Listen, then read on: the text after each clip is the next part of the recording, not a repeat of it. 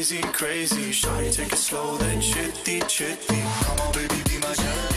Περιοδικό OK και το Γιάννη Πουλόπουλο, ο Κωνσταντίνος Καζάκος δηλώνει μεταξύ άλλων. Είναι γνωστό ότι έχεις γυρίσει σελίδα στην προσωπική σου ζωή. Μάλιστα, τον περασμένο Μάρτιο είχες δηλώσει για τη νέα σου σύντροφο. Έχω βρει ένα πλάσμα που αγαπώ πάρα πολύ, με αγαπάει πολύ και είμαι χαρούμενος. Δεν έχει αλλάξει τίποτα από τότε. Είμαι πολύ καλά στην προσωπική μου ζωή.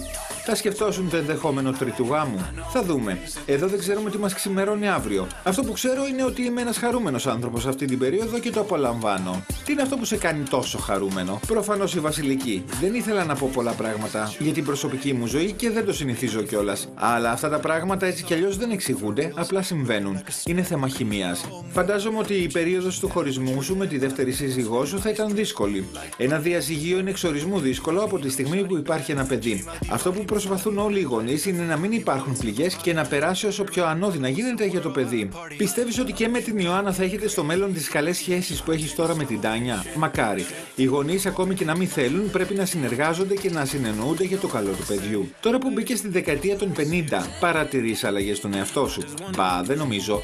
Σαφώς υπάρχει μια οριμότητα, αλλά είμαι όπως ήμουν και στα 25 μου. Γι' αυτό είμαι και τόσο χαρούμενος. Όταν ένας άνθρωπος είναι ερωτευμένος, περνάει καλά. Πέρασες κρίση ηλικίας όταν άλλαξες δεκαετία. Δεν νομίζω. Ο έρωτας βάζει στην πάντα και τη κρίση ηλικίας και τα πάντα. Bad habits lead to late nights and Πρεμιέρα το Σάββατο.